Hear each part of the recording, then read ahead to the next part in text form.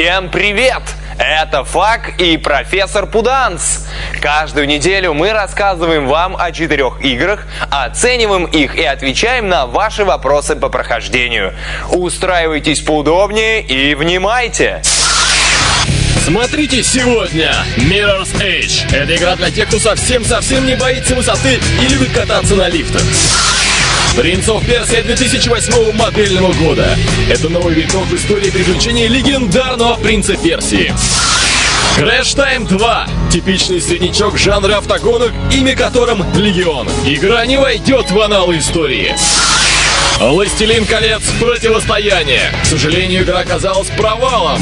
Шикарной лицензии здесь пытаются прикрыть немощный и однообразный геймплей. Mirror's Edge – одно из главных открытий года. Паркур экшен с потрясающей симуляцией способов экстремального перемещения в пространстве. Каждый уровень – это в первую очередь испытание для реакции, глазомера и даже вестибуль-бульбулярного аппарата. Паркур пришел в игры задолго до того, как обзавелся всенародной популярностью. Посудите сами, аркады начала 90-х — это сплошные прыгалки-бегалки. Впрочем, рассчитывались они в основном на реакцию и внимательность. Для того, чтобы успешно добраться до конца уровня, почти всегда достаточно было нажимать нужные кнопки в нужном месте. С серьезными попытками детальной симуляции прыжков и кувырков мы начали сталкиваться совсем недавно. Одной из таких игр стал Assassin's Creed, где помимо всего прочего герою предлагается расширенный ассортимент способов перемещения в пространстве. Впрочем, сложным местный паркур казался только в первые минуты. Mirror's Edge с самого начала вооружился совсем другой идеологией. Главный вызов в игре — это детально проработанная акробатика и сложные уровни. Стоит отметить, что выбранное направление оказалось правильным. Перед нами действительно совершенно новый взгляд на паркур. Игра, которая может подарить много удовольствия любителям экстремальных адреналиновых пробежек. Действия Mirror's Edge разворачиваются в мегаполисе недалекого будущего. Власть тоталитарна и, разумеется, подобное мироустройство не может обойтись без недовольных. К ним относятся и так называемые «бегуны» — организация, занимающаяся переправкой засекреченных сообщений и посылок. Главная героиня, прекрасно сложенная азиатка Фейт, как раз является одним из таких бегунов. Системные требования к игре следующие. Процессор, работающий на частоте 2,4 ГГц, 1 ГБ оперативной и 256 МБ видеопамяти. На жестком диске Mirror's Edge займет 8 ГБ.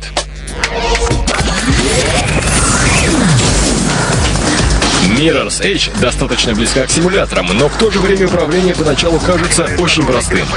Фейт может присесть, прыгнуть, нанести удар и развернуться на 180 градусов.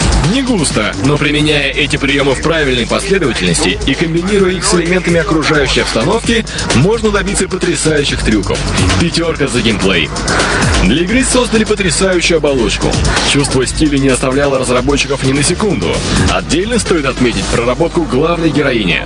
Обычно в играх с видом от первого лица персонаж остается невидимкой. Фейт не такая. Ты чувствуешь ее дыхание, видишь руки и ноги, ощущаешь, как она напрягается, выполняя особенно сложные трюки. Все это добавляет происходящему реализма и естественности. Пятерка за внешний вид. Игровой звук прекрасно дополняет реалистичность происходящего. Фейт тяжело дышит во время бега, вскрикивает после неудачного приземления и мягко топает своими кроссовками по крышам небоскребов. 5 баллов за звук.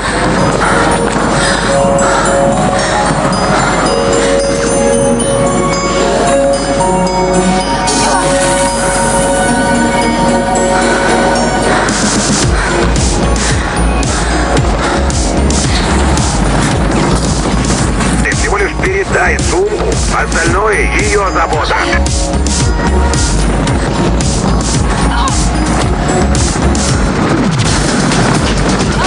Если раньше вас воротило от прыгалок-бегалок, Mirror's Edge изменит ваше мнение.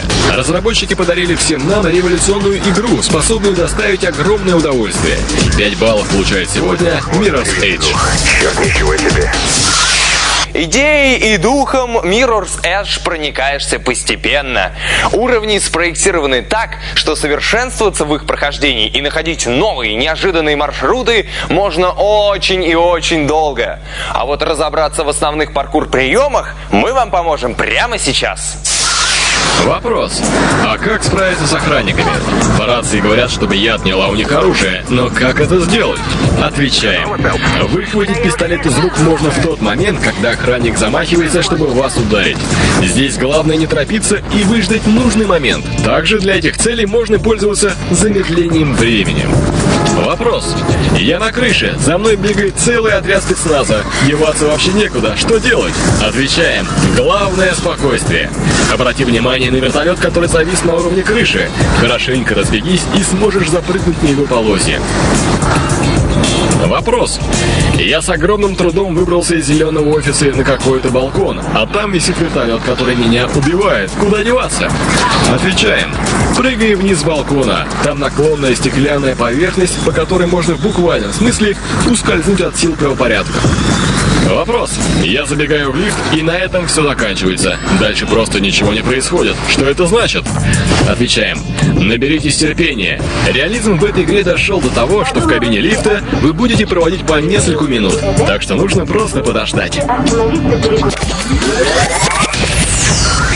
Игра Crash Time 2. Уже шестая в серии Alarm for Cobra 11. В основе игры лежит одноименный сериал, практически неизвестной отечественной аудитории, но мега популярный в Германии. Посмотрим, насколько эволюционировала игра по сравнению с версией 2008 года. Аларм Форм Кобра 11. Сериал с многолетней историей. Как на национальном германском телевидении, так и в игровой индустрии. За компьютерное воплощение отвечает студия Cinetic, которая прилежно раз в полгода делает очередное обновление в серии. На этот раз релиз пришелся аккуратно на Новый год. Ребята выпустили свою игру 31 декабря 2008 года. Как и в предыдущих играх серии, в сфере софитов тут находится интернациональный тандем, призванный следить за порядком на дорогах. Список интересов главных героев попадают патрули на улицах, погоня по автобанам, борьба с насилием, а также более специфические задачи, такие как эскорт болидов Формулы-1 или даже раскрытие государственного заговора. Отличие же этой игры от своих предшественниц заключается главным образом в визуальной составляющей. Все остальные элементы геймплея остались почти нетронутыми. Стоит также отметить, что Crash Time 2 — игра мультиплатформенная. Рекомендуемые системные требования таковы. Процессор на частоте 2,4 ГГц, 1 ГБ оперативки, 2,5 ГБ на винчестере и 512 МБ видеопамяти. Time 2 присутствует 4 игровых режима. Патрол, как следует из названия, покатушки по улице Мегаполиса с целью выявления нарушений. The Cases, составляющий костяк основной кампании. Single Race, одиночные заезды и туториал, некий краткий курс экстремального вождения. Также не забыт и мультиплеер. Мало того, в игре присутствует патриархальный сплитскрин, предлагающий сыграть вам с другом за одним компьютером. Наша оценка геймплея 4 балла. Технологически с появлением Crash Time 2 сериал Alarm from Cobra 11 сделал большой шаг вперед. До законодателей мод в автогонках игре, конечно, еще далеко, но прогресс налицо. Основная изюминка игры кроется в реал-тайм повторах, в которых с киношных камер показываются наши особенно удачные достижения в области дорожно-транспортных происшествий. Наша оценка графического оформления 4 балла. Со звуком в игре полный порядок, но ничего особенного. Сэндбокс не надоедает, а переговоры по рации с координатором оживляют аудиоряд. Наша оценка звукового сопровождения 4 балла. Ben, Semir, we appear to have company. We are being pursued by two vehicles. All right, I see them. But I don't think they... Attention! Calling all units! Pursuers armed! Attacking us! Cobra 11 to HQ.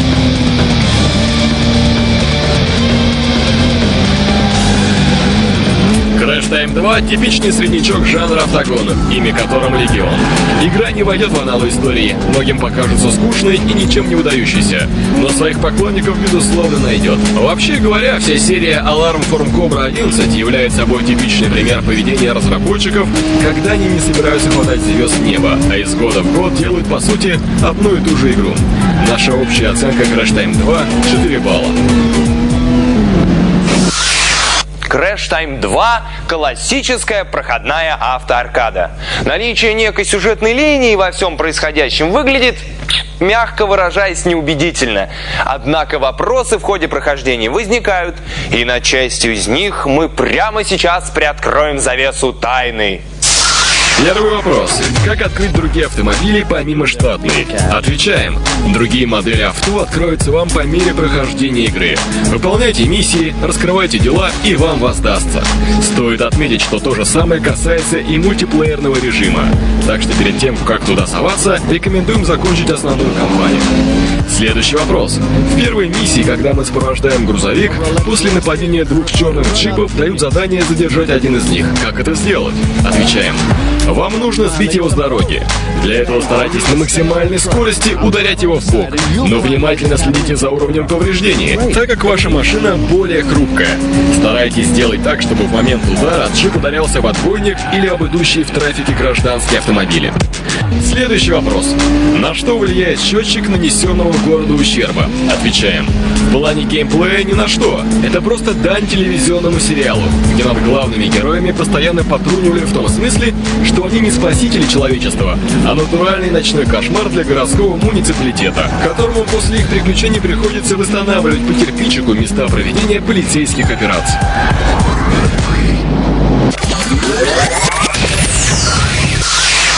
Спекуляция киноидеями в игровой индустрии не нова. Но то, что происходит с «Властелином колец», становится просто неприличным. Проект «Властелин колец. Противостояние», о котором пойдет речь сегодня, очередная поделка по мотивам. Посмотрим, принесет ли она нам что-нибудь новое и интересное. Последние несколько лет вселенная «Властелина колец» эксплуатируется игровой индустрией безостенчиво и сверхпродуктивно. Только на платформе PC имеются две аркады, три стратегии и одна MMORPG The Lord of the Rings Online. Все они, кроме The War of the Ring, появились на свет, крепко вцепившись понятно какую кинотрилогию Питера Джексона. Чего, казалось бы, не хватает. Социальной модели хоббитской норы в формате The Sims или футбольного симулятора, где люди с орками вместо мяча гоняют по поляне палантир. Шар, через который Саруман следит за кольцом. Electronic Arts, которая с некоторых пор безраздельно владеет правами как на кинотрилогию, так и на книгу, показалось, что в линейке продуктов о «Властелине колец» недостает многопользовательского шутера. Примерно этой цели должна служить игра, известная в России как «Властелин колец. Противостояние». Рекомендуемые системные требования таковы. Процессор на частоте 3 ГГц, 2 ГБ оперативной памяти, 6 ГБ на винчестере и 512 МБ видеопамяти. Итак, культурная программа включает Хельмова Пать, Еленорские поля на подступах к Минас-Териту, сам Белый город, Марийские копии, Шир, штурмуемые энтами Эзенгард и другие достопримечательности Средиземья. Как и во всех подобных играх, миссии, из которых состоят обе компании, крайне шаблонные и надоедают очень быстро. Нам нужно или захватывать, или удерживать контрольные точки, или таскать какой-нибудь предмет. В одиночку подобное надоедает крайне быстро. В кооперативном режиме можно продержаться чуточку дольше. Но до финальных титров мы уверены, дотерпят немногие. Наша оценка геймплея 3 балла. Игра построена на движке диалогии Star Wars, который нисколечко не соответствует современным требованиям графики. Хваленные модели персонажей, взятые якобы прямиком из исходников New Line на деле оказываются деревянными болванами, которые постоянно стремятся натолкнуться на невидимые преграды, расставленные зачем-то разработчиками по всему уровню. От спецэффектов вообще бросает в дрожь. В общем, очень и очень плохо. Наша оценка графического оформления 2 балла. Музыкальное же оформление также не отходит от формата шаблона. Музыка, взятая из фильма, конечно, неплоха, но когда ее слышишь в десятой игре подряд, возникает резонный вопрос. Да коли? Наша оценка звукового сопровождения 3 балла.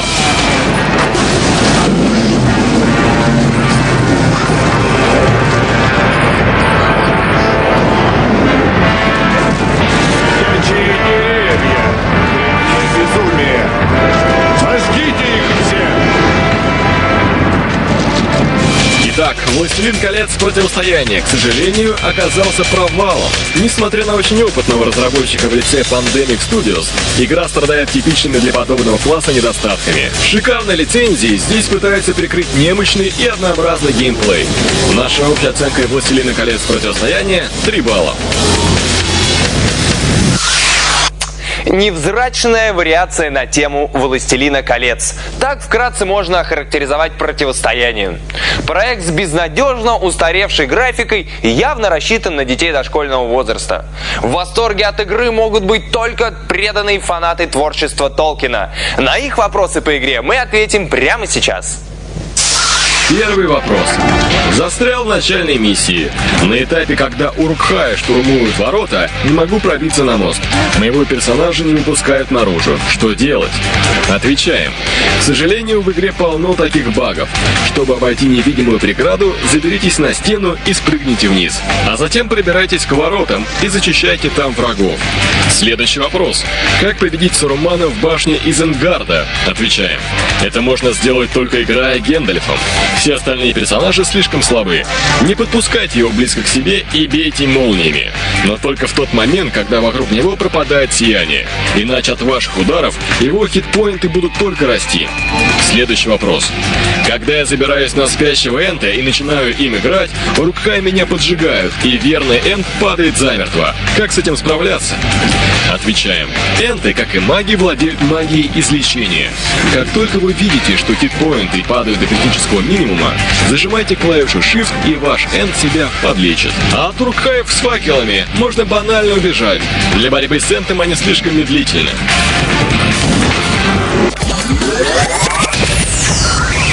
Принц of Персия 2008 модельного года. Это новый виток в истории приключений легендарного принца Персии. По сравнению с предыдущей трилогией изменилось все от графического стиля до боевой системы. На первый план выходит акробатика и головоломки. А благодаря специальной перчатке сильно увеличился арсенал всевозможных приемов. В 2003 году Ubisoft Montreal закончила Action Prince of Persia The Sands of Time, в котором удачно переосмыслила концепцию оригинального принца Персии образца 1989 года. На смену плоскому серому лабиринту пришел яркий трехмерный мир с залихватскими потасовками. В следующие два года мы увидели еще две игры из этой серии, а затем наступило затишье. Теперь, три года спустя, мы понимаем, почему новый проект занял так много времени. Разработчики вновь переосмысливали концепцию. В основе игры на этот раз лежит не выдуманный сюжет, а настоящая персидская мифология. Согласно сценарию, злой бог Ариман выплеснул на чудесный город темную энергию, так называемую скверну. Она стремительно отравляет идиллические пейзажи, угрожая всему живому. Принцу и его подружке Элике отводится роль санитаров, которые должны очистить зараженные участки мира, вернув им первозданный райский облик. Игра поступила в продажу 9 декабря 2008 года. Рекомендуемые системные требования. Двуядерный процессор с частотой 2,5 ГГц, 2 ГБ оперативной памяти и 512 МБ видео, а также 8 ГБ на жестком диске. К новому Prince of Persia нельзя подходить так, как вы, возможно, подходите к остальным играм. Иначе он покажется вам пресной поделкой для детей ясельного возраста. Представьте себе, в этой игре персонаж не может умереть. Совсем. Кроме того, здесь практически невозможно принять неправильное решение. И не нужно отплясывать канкан на клавиатуре, чтобы пройти какой-нибудь особо хитрый прием. Вообще, Prince of Persia не потребует от вас хоть сколько-нибудь заметного напряжения.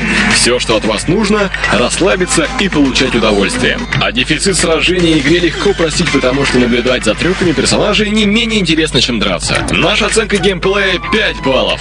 Новый Prince of Persia фантастически красив. Визуально это очень напоминает серию Final Fantasy. Гротеск везде и во всем. Храм, построенный в корнях километровой высоты дерева. Висящие в воздухе конструкции непонятного назначения. Все самым возмутительным образом попирает всякие представления о реальности.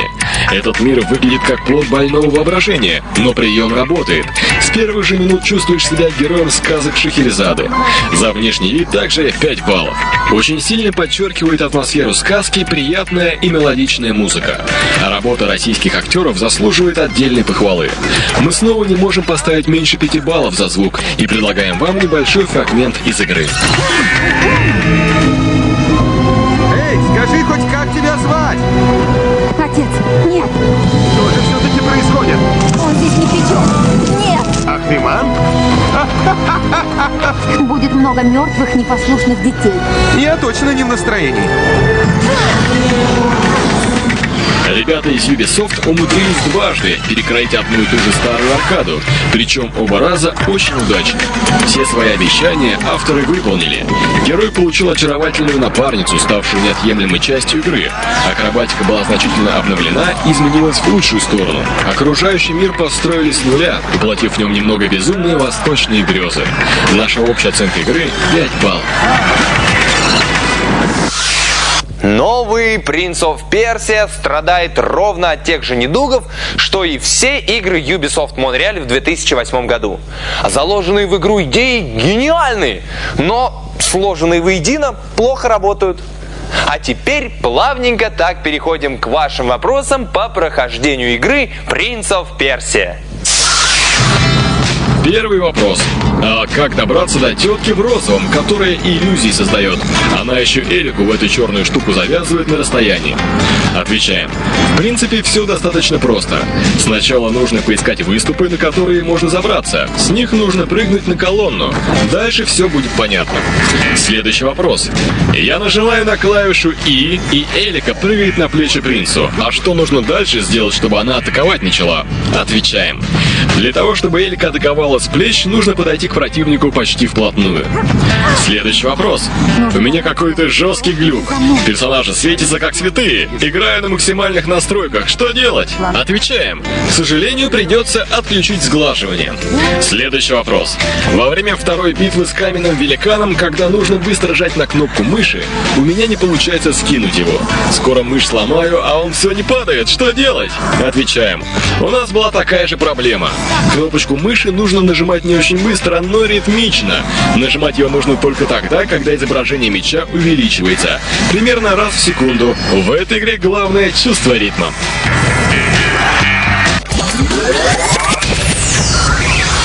На сегодня, думаю, хватит. Всю следующую неделю буду разбирать ваши письма и выуживать оттуда самые интересные вопросы. Меня зовут профессор Пуданс. Это был ФАК. Совсем скоро мы снова увидимся. Не забывайте заходить в форум на сайте musdefistv.ru. Там можно обсудить ваши любимые игры с другими геймерами. И присылайте мне свои вопросы на адрес faq. Мы обязательно все посмотрим и ответим на ваши письма. До скорого!